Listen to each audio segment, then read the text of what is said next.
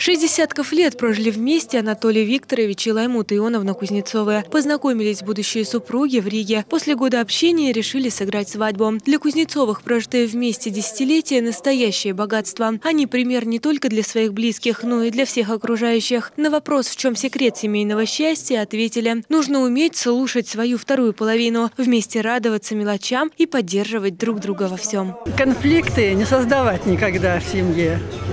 Если даже считаешь, что муж не прав, ну согласись с ним. И все. Весь секрет.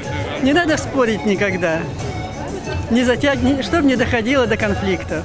Лучше добрым на свете быть, злого в мире и так довольно. А с таким девизом по жизни идет семья Леленковых. В этом году Наталья и Валерий отметили 50 лет совместной жизни. Началась история любви супругов еще со школьной скамьи. Они учились в одном классе. Именно тогда Валерий понял, что Наталья – его судьба. После окончания школы он, не задумываясь, сделал предложение невесте. И вот уже полвека они рука об руку идут вместе по семейной жизни. Друг другу надо идти навстречу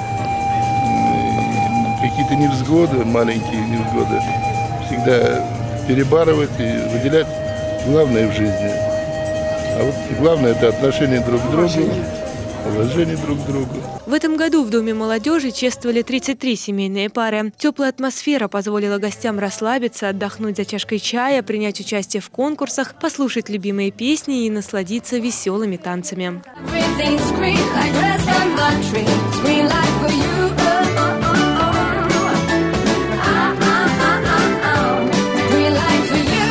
По окончанию вечера всем семьям вручили цветы и подарки. Ирина Вышегородцева, Артемий Глазков, Сергей Рябов. Служба новостей Саров 24.